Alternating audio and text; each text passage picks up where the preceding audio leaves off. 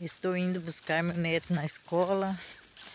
Vou pegar ele ali na beira do rio, que ele vem de, de barco até na beira do rio. Daí vou buscar ele. Gente, essa estrada aqui, ó, tá igual que ave de lisa. Lisa, lisa, lisa pra gente andar. Tem que andar com o máximo de cuidado. Porque esse aqui, ó, é liso.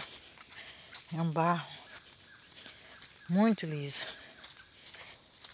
Eu tenho que andar bem firme, porque senão eu caio várias vezes. Tem um escorregão aqui que só Deus na causa. Mas é assim, né, gente?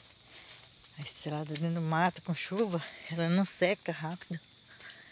Ela fica sempre molhada. Agora mesmo acabou de dar uma chuvinha, uma garoinha. Aí fica assim.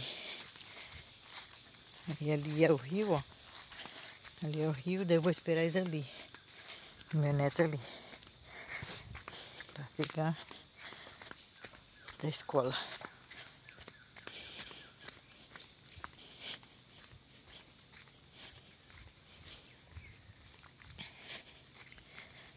Ali é o rio.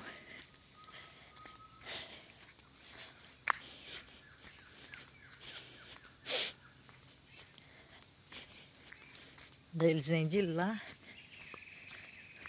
Lá. Lá do outro lado não.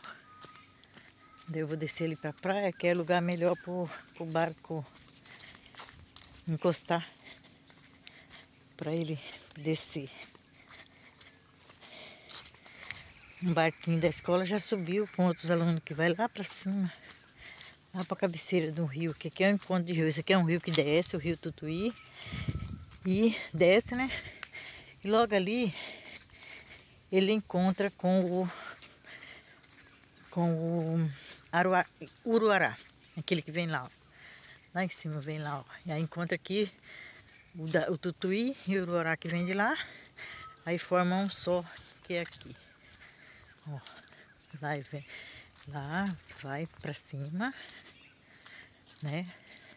Vai para cima e vem de lá para cá o rio, encontra aqui com tutuí que vem daqui. Olha, o rio encheu. Tava aqui nessa vara, ó. Tava aqui nessa vara que nós amarramos um barquinho. Ó, encheu. Choveu bastante. Choveu bastante para as cabeceiras.